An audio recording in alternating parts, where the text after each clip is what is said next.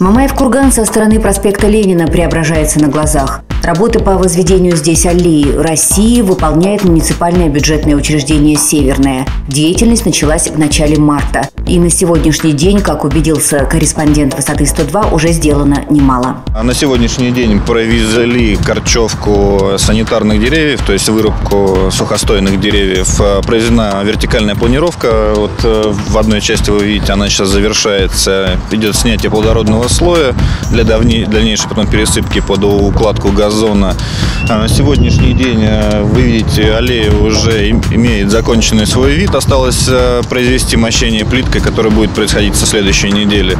Сегодня, как и каждый день, без выходных рабочие с применением спецтехники продолжают обустраивать будущий парк. Совсем скоро здесь появятся выложенные плиткой пешеходные дорожки с подводом всех необходимых коммуникаций. Завершается монтаж э, проводки под электрику, под дальнейшую установку столбов освещения. И также ведется работа по укладке поливочного водовода. Сроки строительства современной парковой зоны для горожан и гостей города очень сжаты. До конца апреля планируется уложить газон, смонтировать несколько десятков светильников и установить специальные скамейки, адаптированные под маломобильных граждан.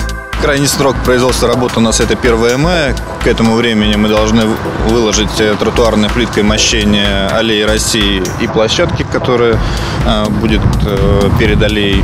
Также высадка деревьев, устройство газона, и подключение к энергосетям данного парка. Окончание работ по обустройству новой аллеи и ее торжественное открытие запланировано на 9 мая. А само ее появление стало возможным благодаря помощи крупных предприятий города. Нам дали такое ответственное задание а, музей «Сталинградская битва». Устройство аллеи происходит с привлечением внебюджетных средств а, благодаря Еврохим Волга Калий. Активный вклад а, в постройки аллеи внесли сады Придони в виде устройства поливочного водовода. Планировка аллеи необычна. Здесь нет прямых углов, что уже создает атмосферу природного парка. По концепции архитектора, который проектировал данная аллея, повторяет контур реки Волга вот она уже появилась. Да, она уже появилась, ее уже сегодняшний день можно про ней пройтись, хотя она исполнена пока в щебне.